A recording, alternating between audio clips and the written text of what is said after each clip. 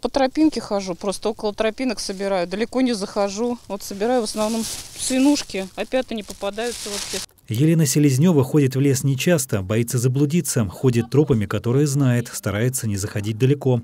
В грибной охоте, как и на звере, многое зависит от простого везения.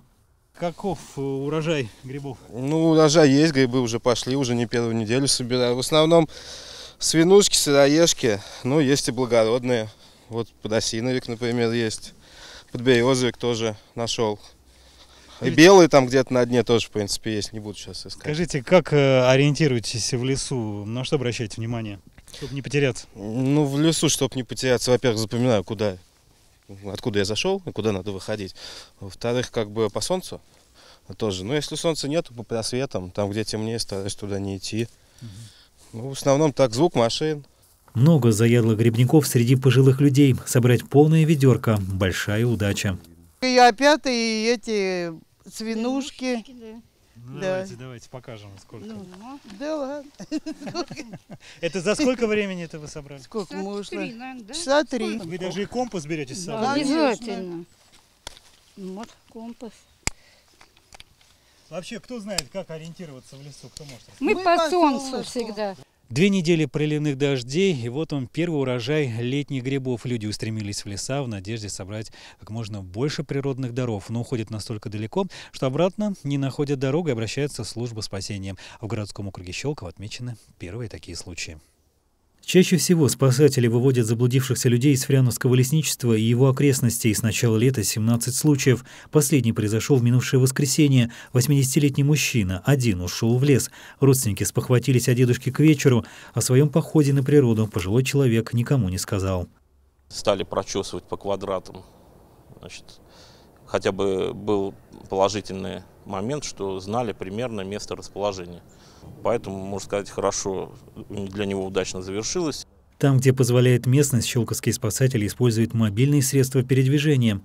Снегоболотоход а, «Стелс», а, 70 лошадиных сил, полноприводный, оборудован лебедкой, дополнительным светом и э, емкостями для воды, по просекам, значит, э, по грунтовым дорогам, по опушкам по- по- объезжают спасатели, э, ну, имея с собой громкую связь. Есть на вооружении спасательного отряда и более сложная техника. Два квадрокоптера, которые позволяют проводить наблюдения значит, с высоты, облетать и осматривать довольно большую, большую территорию. Вот. Также походные туристические навигаторы GPS. Пока у нас все потеряшки найдены, как мы их называем. То есть в основном, в основном это люди пожилого возраста. В самых сложных ситуациях щелковские спасатели прибегают к помощи коллег из поисково-спасательного отряда номер 2 Мособлпошспаса, которые территориально ближе расположены к лесному массиву. Оказывают поддержку и общественники из организации «Лиза Алерт». Чтобы не потеряться в незнакомой местности, следует придерживаться нетрудных правил.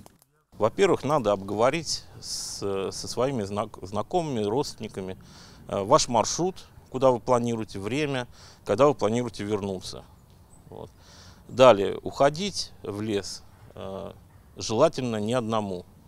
То есть зачастую вот это мы одиночек ищем.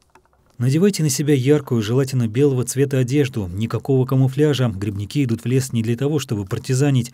Возьмите с собой воду и медикаменты, если их вам положено принимать по часам. Не забудьте про телефон или смартфон и дополнительные заряженные аккумуляторы к ним. Постарайтесь избегать буреломов. Это самый травмоопасный участок в лесу. Во время пути старайтесь запоминать ориентиры, высоковольтные линии электропередач, просеки.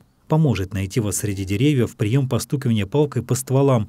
Звук распространяется на 2 километра. Каждый день дожди, будут и грибы. И пусть дорога до леса будет для вас максимально короткой. Михаил Налетов, Сергей Максимов, Щелковское телевидение.